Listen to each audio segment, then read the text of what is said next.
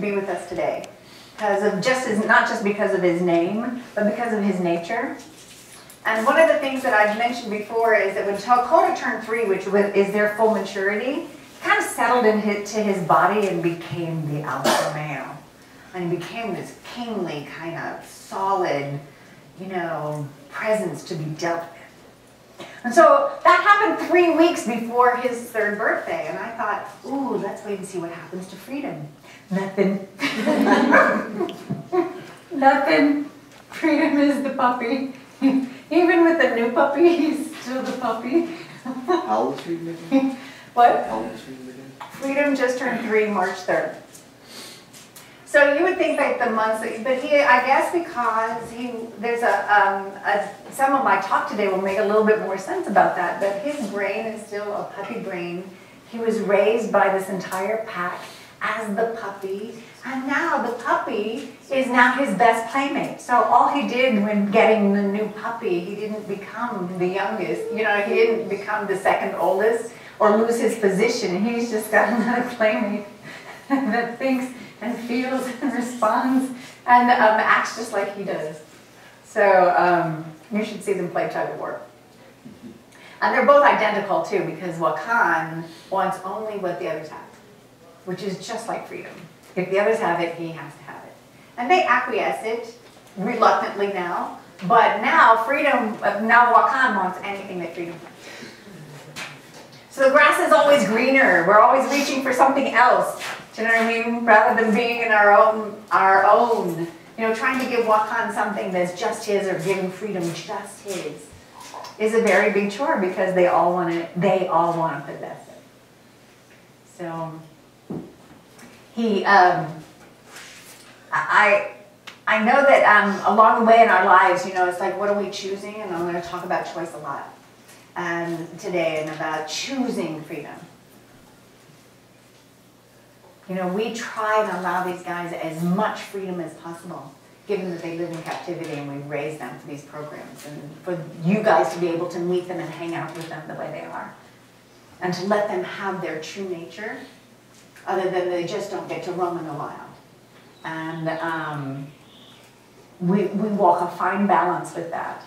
And we do it with each other too, and we do it as people. It's like, what is the freedom, the, the trueness of our nature, and what's inside of us and moving us, and our heart's desires. And then it has to be contained and structured and disciplined in order to actually make it happen in a positive way. And so you need both sides of your brain for that. I don't know if I'm going to pronounce this right, but Oksana Rus says, There is a place so pure and true, beyond your deep and restless thoughts, you'll find an imaginative longitude for dear shelter completely lost in time. And it's made of love. It's made of love, of magic dreams where you can be yourself and free, where roses of white and scarlet bloom, tranquility waves kissing shores. A place you'll never want to leave, a place for dreamers to believe. So spread your wings and let your soul fly up and reach your castle in the sky. So think of that as we sing our opening um, meditative song. For those of you who haven't seen it before, heard it before, just come on in, come on. just take an exhale and listen to the sounds in the room.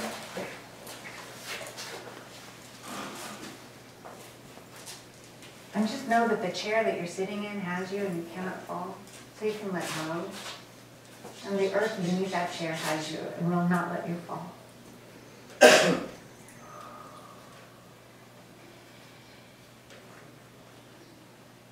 Mm.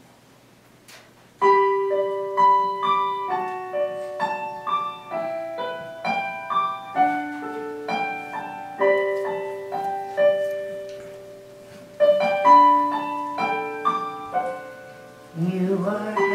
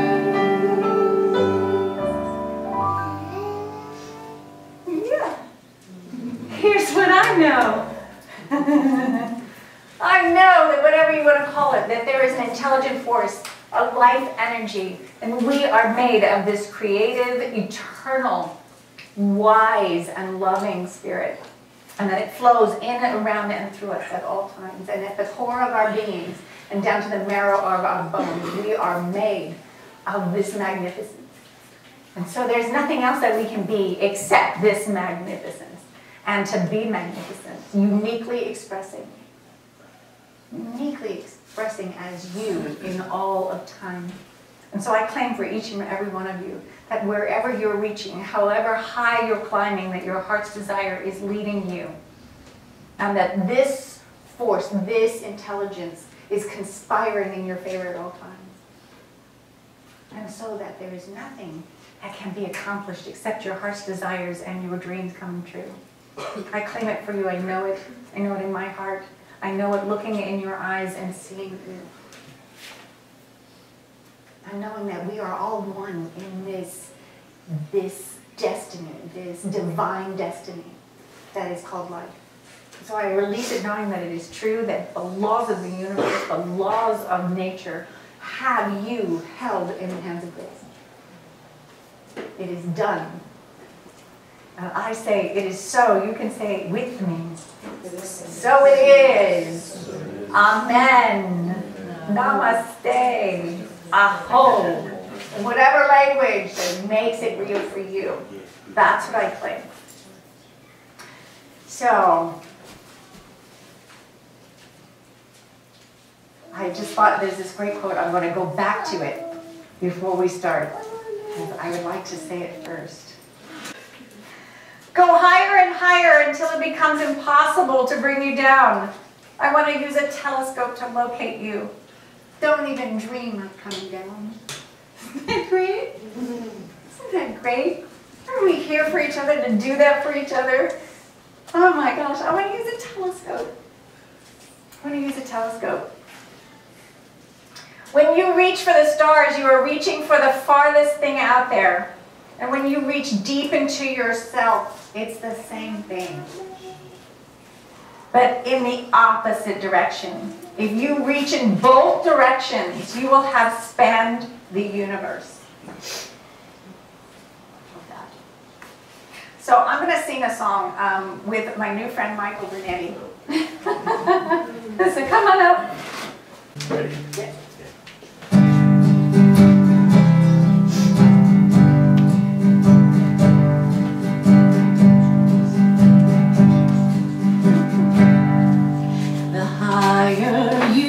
one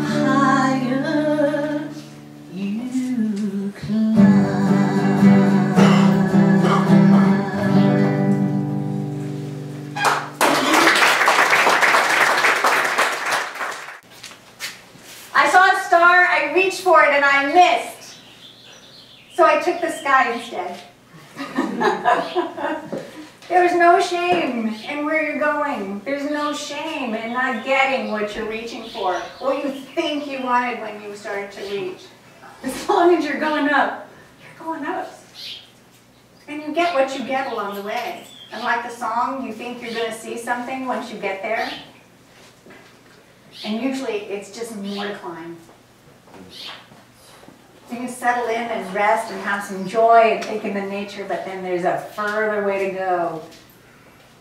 Because you just learned something new and then your heart gets triggered again to go even higher. Um, I was reintroduced this week to Jill Bolte Taylor. Do you guys know who she is? There's a TED Talk, you know. Um, there's a TED Talk um, that um, I encourage you to just, you know, uh, go to um, YouTube when you get home and type in her name. Um, and I'll write it down for you if you want to. But basically, she was a, um, a girl who had a brother who was schizophrenic.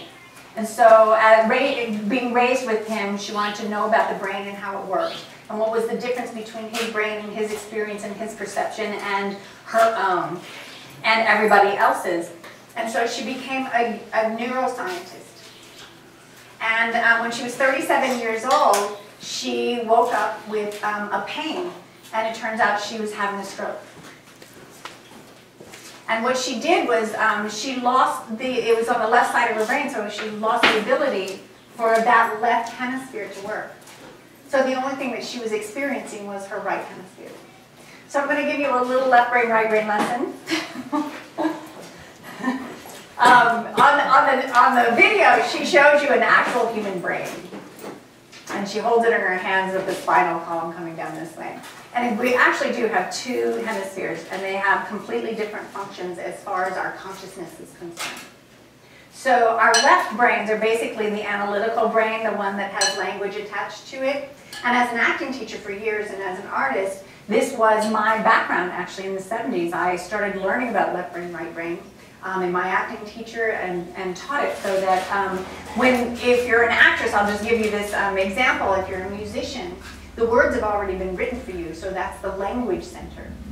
So our jobs as actors were, was to hook into the right brain, which was the creative, emotional, feeling, um, expansive, unlimited, in the moment brain, where language does not exist. And that's basically what we're born with. We are born with that side of our brain intact, and we're all sensory into that moment. Until we've walked upright long enough for these um, connectors between the two, I forget what they're called, but we have connectors between the two hemispheres. You have to walk upright. Oh, wait for a second. Till you're about eight years old before your logical, verbal, language skills start to click in. Which is why child development and knowing what they know now neuroscientifically um, about child development, what, what your one-year-old is capable of, what your two-year-old is capable of, what your three-year-old is capable of, and then you have to treat them accordingly. Because you're just wasting energy and then you're causing a lot of problems with the child if you don't if you're not aware of what they can cognitively actually absorb at that age. And there are books, your one-year-old, your two-year-old, your three-year-old, it's really mapped out for you now, it's really great. So, um, so, so basically, she started to lose her language center. And what she noticed was that her beingness felt more expansive outside of her body even. And so as her left brain was starting to hemorrhage and she was having this stroke, she was experiencing herself in her life. It's very funny the way she does it. Come on in. Come on in. She's experiencing her life and, and having a great time, not worried about the last 37 years of junk and the baggage that she's been carrying through and that she's been holding on to. It was only in the moment and it was wonderful and it was beautiful and it was expansive. And she was, she, she said sometimes her left brain would click in and go, wait a minute, you know, you, there's a problem here. You need to do something about this. And um, it's so funny because she knew that at that moment she could see herself. We have learned from Einstein that we are all just energy. We're molecules that we're spinning together. So what you see here is Colette as the I am. Uh, Colette Duval Pondella standing here in front of you with blue pants and you know what I mean? All of this is just a very limited, a limited version of what we really are. Now it defines who I am, and she talks about that. Like, who are you? Are you what you are in the world, or are you who you are in the world? Which would make me, you know, Reverend Colette Pondella, Wolf Mom, um, you know, where you can describe me and limit me and linearly describe who I am. That is who I am. As an individual, you know, in this space, in this body, with the molecules put together the way they are. And we see each other the same way. But what we are, she discovered while she was having this experience, and what she already knew, but now she's experiencing rather than a scientific theory, she's feeling it in real life, is that we are. Anyway, we are this expansion of molecules and connected to each and every living thing in this beingness that, that our right brain is conscious of.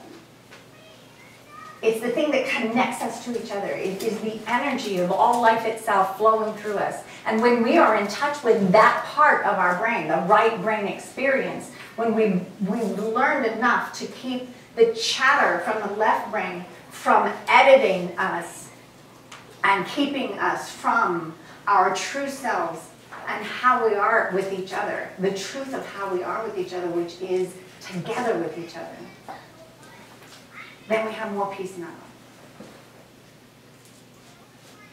And so the, the, the task is which experience do you want to choose? Unfortunately, as a society, she says, we do not teach our children that they need to tend carefully the gardens of their minds.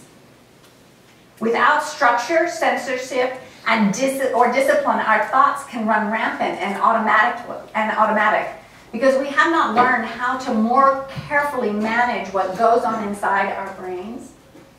We remain vulnerable to not only what other people think about us, but also to advertising and political manipulation. So are we this expansive human being, all connected to each other? I mean, capable of living in a world of peace and love and harmony, which is what the wolves do. They've survived the ice age as a result of their peace, love, and harmony with each other. And then everybody eats. But their roles, the I amness of each one of their roles is also very important. But it does not keep them from surviving successfully as a team, as a community with each other in a loving, caring, peaceful way.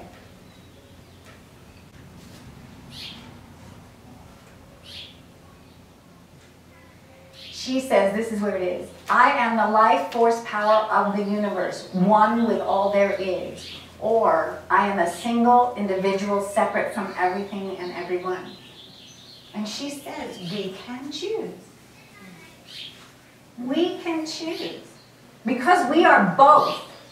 But which side do you want to lead with? You know, like the song says, you know what I mean? The further you reach, the more that you touch, the more that you touch, the fuller you feel. The fuller you feel, the less that you need, the less that you need, the further you reach. Are you living like that? Are we living like that? I know I go to bed with my to-do list for the next day. I'm exhausted about tomorrow before I even put my head down for the night. You know what I mean? that chatter, you know, especially if you have children, especially, you know what I mean, when you've got injuries or, you know what I mean, these kind of things. If you're going to bed in pain, these are things that you have to live with. And pain in your heart also. Pain in your body. Pain about the past. Frustration about what the world is like today. And we have, a, we have the ability to choose which side we want to see from and be in with each other. And it takes a lot of relearning is what I've learned. The reason that acting classes take so long that people will study for three to four years at a time, and for the good ones, they never stop studying. They keep going to classes. They have their coaches that come on set with them. That's from Al Pacino on down. Because in order to act beautifully and with genius, you have to let go of your preconditioned ideas about what life is. Take on a script and take on the words of that and let it inform you. And as honestly as you can, live through somebody else's experience. That's what acting is. It's not lying, it's actually living truthfully. Imagining yourself living through someone else's experience, even if it's fantasy. That's what acting is. So, so what I learned teaching this stuff and watching people miraculously let go of their heads and get into their experience and connect to each other and have this beautiful experience that had nothing to do with them individually or personally.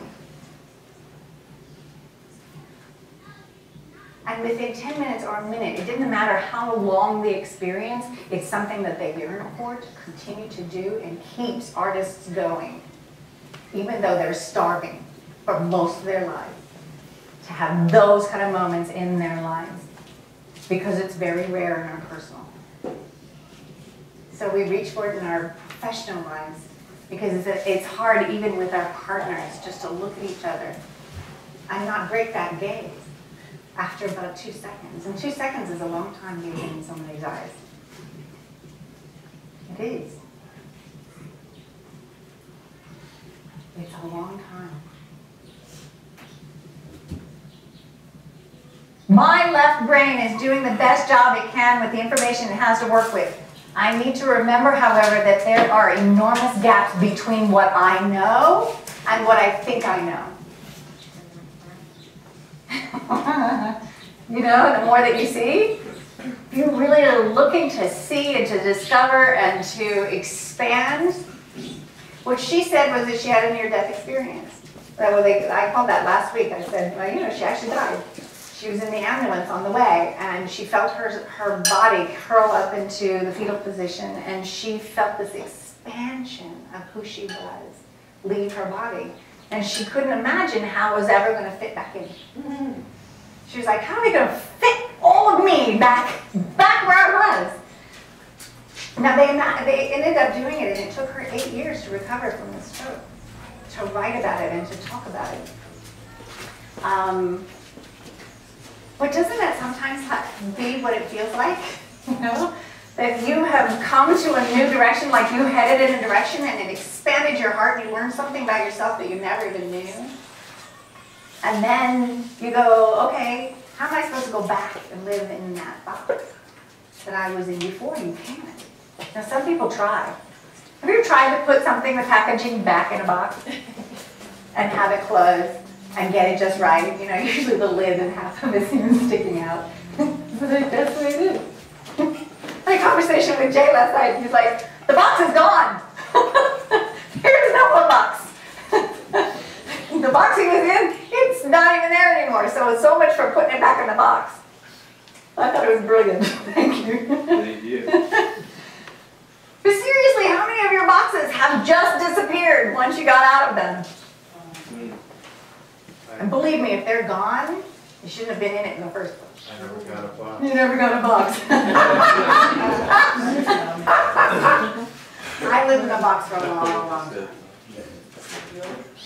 Oh, I was in a bad box.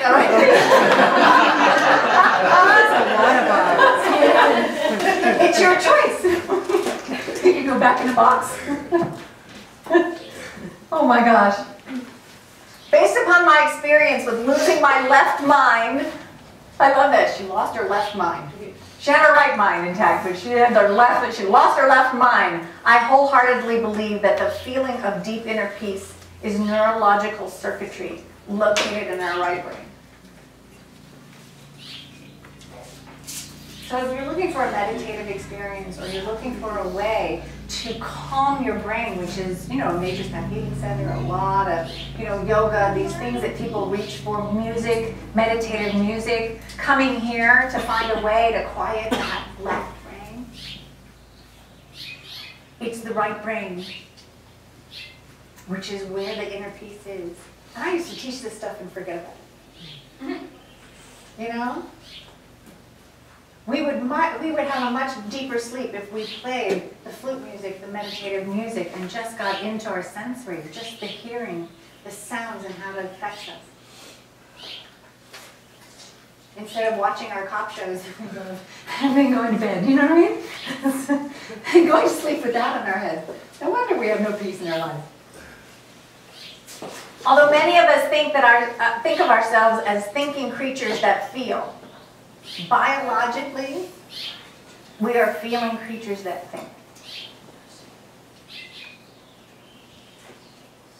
If you just remembered that today and took that home with you, because that's what connects us to the four leggeds, that's what connects us to nature.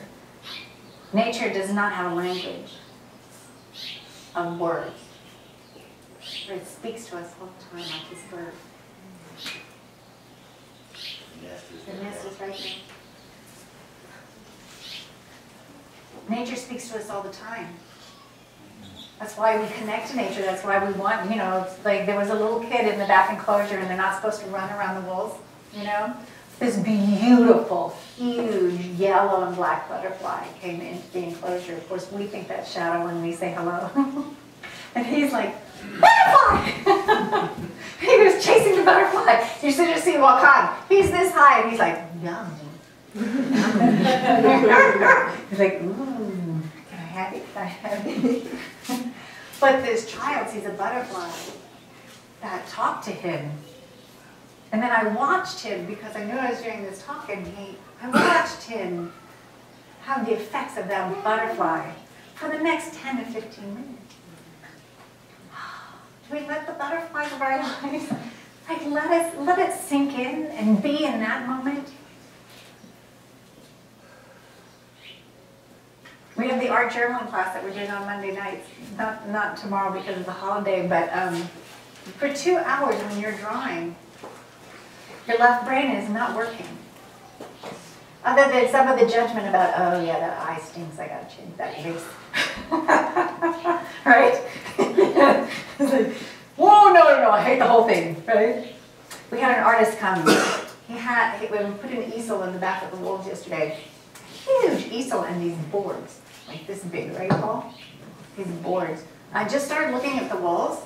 I just had this like black marker. I just started drawing. I mean, turned it over, and it didn't have to be perfect. This is how he starts. He just started drawing. And all of a sudden, I see Cochise's face. I see all the faces of my babies and their bodies, and the puppy on the on his back playing with freedom with the belly. And we were back there for more than 20 minutes. Just flying with this piece, turning the boards over, just going in the flow. We all have that in us. We might not all be, you know, drawers. Might not all be singers. We may not all be actors. We may not all be musicians. We may not all be, you know. All my pictures in the house. Okay. we had to draw a self-portrait, and I drew a self. I drew a wolf mom. Half my face was me, me, and half was a wolf. And um, I had to do it side by side, and I mean, all front, so that the noses matched and everything. So I was really literally my left and right brain. And then I put a, a sheet of paper over my my human face. I saw this wolf, and I was like, "Oh my god!" I was very proud. I was very proud. And uh, Kim, who leads the class, she, Sarah's mom, she um, she's a good teacher. It's like, whoa, look what I did.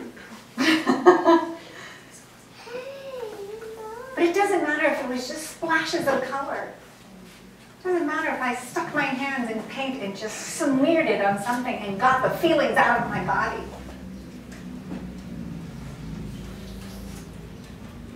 I was angry one time and I, I, I couldn't get it out.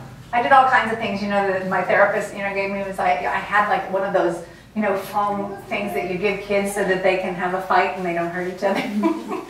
I was beating my couch. Nothing. Oh, it just made me angry. And finally I said, draw the anger. Draw. So I got out all my artwork. And it didn't matter what I did, but it was a finger paint and it was all these yicky, maroonish, blackish, purplish colors, and it was just all smeared, and at the end of it, I just stuck my hand right in the middle of it. And then it was done. You know how you know it's done? And I just breathed, and I relaxed, and all of a sudden I had a lot of peace. And then I put the picture up, you know, I'm far-sighted, I can't see nearsighted so much, you know, I don't get the same impact, so I put it against the wall for it to dry, and I woke up the next morning and I, I came in contact with it. And even though it was my grown-up hand, I knew it was my free will. I knew there was a, not my imprint at my age.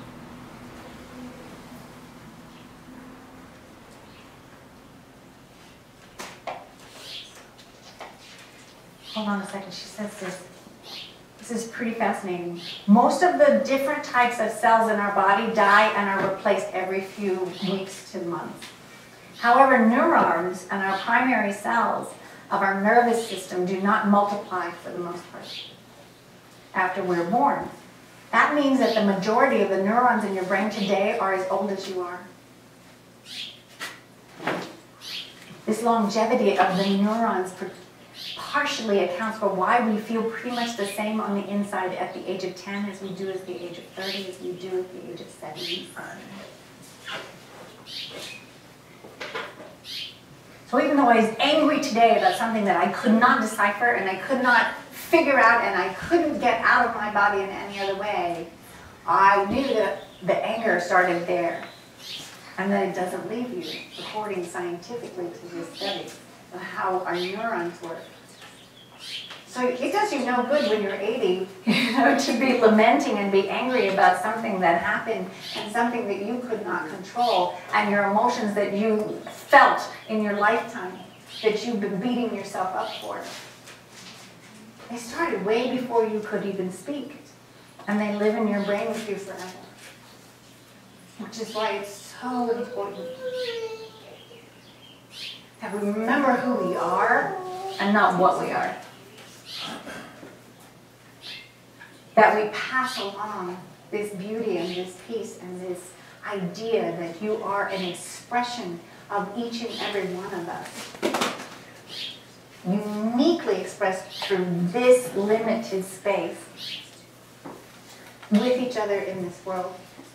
And we can choose to live in peace and harmony with each other and find that and live in that world with each other rather than this narrow, individualized world that keeps us at each other and at ourselves in a negative way. I believe that the more we understand about how our hemispheres work together to create our perception of reality, then the more successful we will be in our understanding of the natural gifts of our own brains. Have some place to work your heart's desire through. You have this avenue, this limited space to work your gifts, your divine destiny through.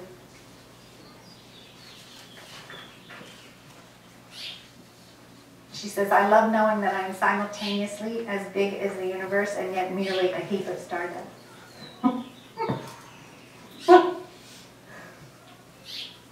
And she says, please take responsibility for the energy you bring in to this space. Into this space. So I'm gonna invite Michael up again. We're gonna sing You've Got a Friend by James Taylor.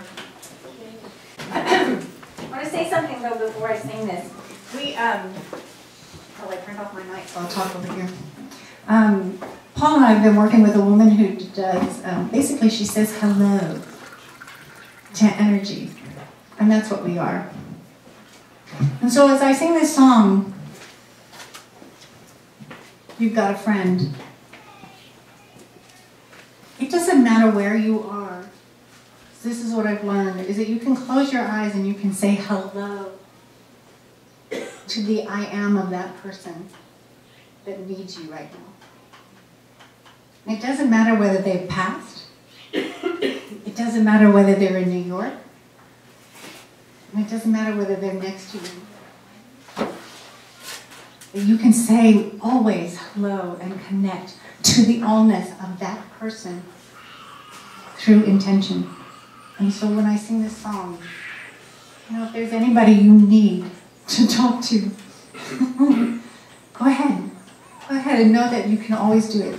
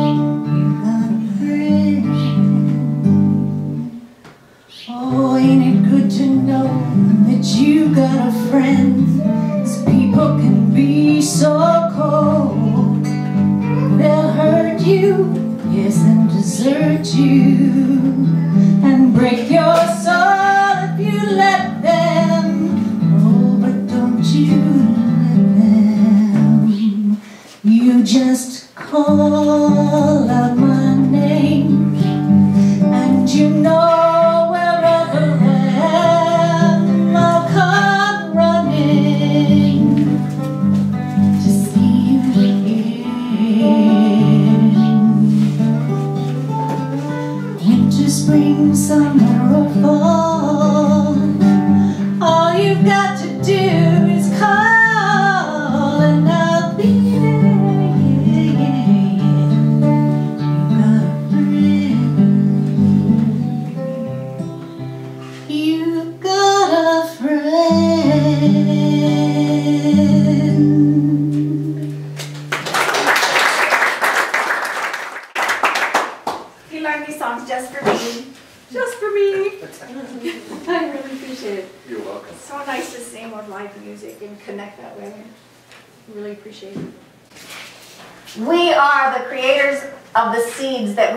Planted in the past, whether they are happiness, comfort, abundance, prosperity, family, children, ideas, or even thoughts that are giving birth into our world. Feel the arms of Mother Earth's beauty reaching out to you and be patient as you watch your seeds take root and grow. Nurture them as they become strong and healthy. Open yourself to the life force of the universe as you nurture yourself and infuse your soul with love and compassion from the loving space of your heart center. By doing so, soon others will see and feel your devotion. This benevolent energy that resides there will assist you in making sacrifices in order to care for and grow and help others as well as yourself. So that is all I have for you today. I am going to say thank you for the um, generosity of your time. And um, just so you know, we don't pass a basket around here, but we do and lovingly accept any kind of cash donation that you have in order to help us with the wolves. There's some um, uh, glass bowls that say for the wolves, and if you have a gift for us, we, with an open heart, say thank you so much and real appreciation. We have a gift shop here that um, Mary and Margie have done handmade items, and um, they have contributed them for our benefit. So now we have the burden basket for those of you who have not been here before. The burden basket is over here. If you have any burdens that do not belong to you, let them go. Write them on a sheet of paper, put them in the burden basket. I will burn them for you and let them go back into the elements, into the nothingness of where they belong. We also have a joy jar, which is on the other side with the black wolf on it. We're always with our shadow. so um, we're going to end today and then we're going to go see the wolves. But we're going to end today with our closing song, and um, it has some sign language to it. And the girls are always here to help me, right? Okay, so we're going to show them the sign language. You are the face of God. I hold you in my heart. You are a part of me. You are the face of God.